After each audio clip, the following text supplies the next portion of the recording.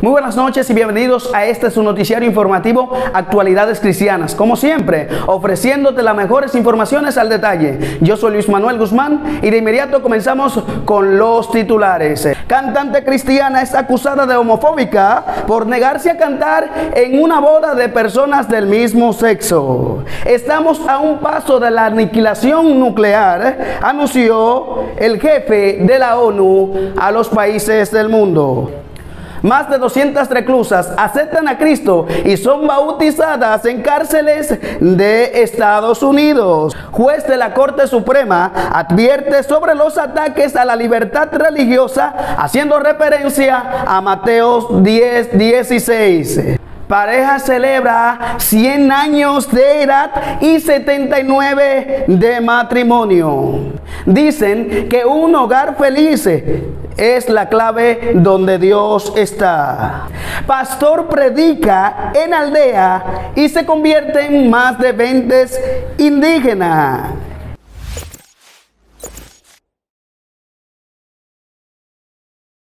Tras declaraciones en un podcast dirigido por Karina Basil, la cantante Bruna Carla hizo declaraciones en contra del matrimonio homosexual y comportamientos antibíblicos aceptados por algunas iglesias. Dijo, no me comprometeré con nada que no tenga principios bíblicos. También dijo que no cantaría en iglesia que apoyen dichas posturas. Dichas declaraciones fueron ofrecidas en el año 2021, pero ahora es cuando están teniendo efecto. Entre los comentarios que ha hecho la cantante gospel, que ha levantado críticas, se encuentran un diálogo que tuvo con un amigo gay, en el cual le decía a su amigo, cuando me case, vendrías a mi boda, a lo que la cantante Bruna Carla respondió, si te casas con una mujer, una mujer hermosa y llena del poder de Dios, tras dar a conocer su opinión sobre el matrimonio entre personas del mismo sexo, la cantante ha sido acusada de ser homofóbica y ofensiva por artistas y celebridades de Brasil. Bruna Carla dejó un mensaje muy claro a los miembros de la comunidad LGBT. Dijo, para mis amigos, mis oyentes, homosexuales, lo que Dios tiene para su vida es la liberación, algo que anhela para ustedes y reciban todo mi amor porque Jesús no soñó esto para ustedes. Cabe destacar que el artista, a pesar de los comentarios que hizo, mostró su amor y afecto hacia esta comunidad. También la comunidad cristiana en Brasil apoyó a Bruna Carla. Bueno, hay que tomar una decisión de seguir a Cristo y esto va a levantar crítica. ¿Qué dicen ustedes? Por otro lado, el jefe de las Naciones Unidas dijo que una guerra nuclear está cerca y cada vez más los países están siendo equipados con armas nucleares y que todo se convertirá en una aniquilación. Antonio Guterres, el secretario general del organismo mundial, dijo durante un discurso en Nueva York que todos deben estar advertidos de lo que puede ocurrir a la humanidad debido al uso de armas nucleares la humanidad está solo un malentendido, un error de cálculo de aniquilación nuclear, expresó durante la apertura de la reunión. Digo también que el mundo tiene un arsenal de 13 mil armas nucleares. Escuchen bien. Esto no es juego. El mundo se prepara para una guerra inminente con armas nucleares. Roguemos a Dios para que Dios tenga misericordia de la humanidad. La conversión masiva de reclusas es fruto del evangelismo de un ministerio cristiano que anuncia la verdad de Jesús en la penitenciaría de Estados Unidos.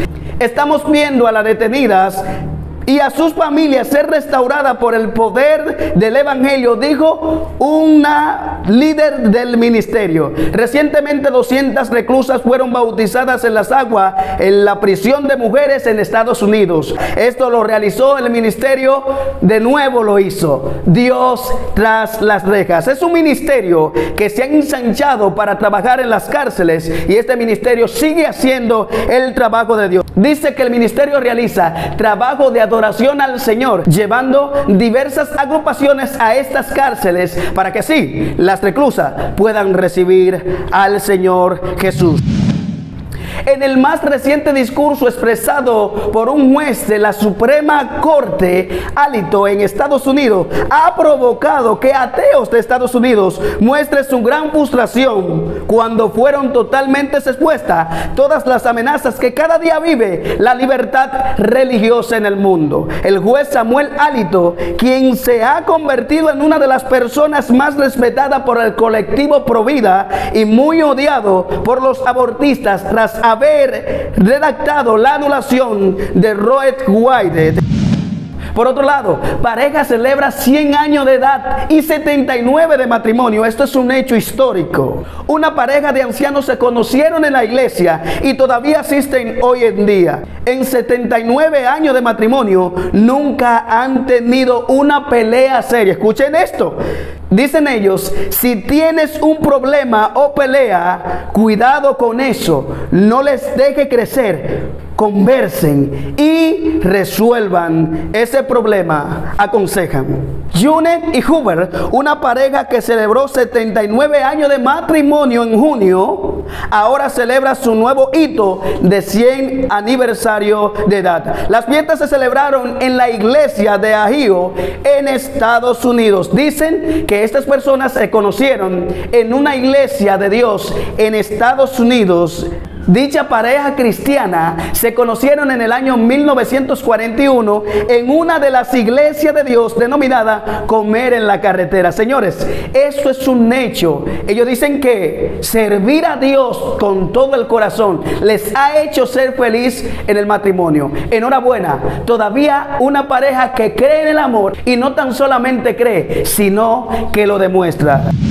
Indígenas de una aldea amazónica aceptaron a Cristo después de haber un pastor que predicó un mensaje del Evangelio en medio de ello. La alegría era evidente entre la tribu al recibir el mensaje que transforma las vidas. El pastor brasileño Joe Ángel Visitó a principios de julio la isla de Bananal en el estado de Tocati, habitadas por indígenas desde antes del descubrimiento de Brasil. Dice que era la primera vez que un pastor visitaba esta tribu. O sea, la tribu estaba hambrienta por la presencia del Señor, hambrienta por poder escuchar la palabra del Señor. Este pastor fue invitado por el jefe de la tribu, Fernando, a estar en el pueblo rodeado por el río Aragua. Este pastor fue invitado por el líder de la tribu, llamado Fernando, a estar con ellos y predicar la palabra del Señor. Luego el pastor fue llevado a reunirse con 55 líderes locales,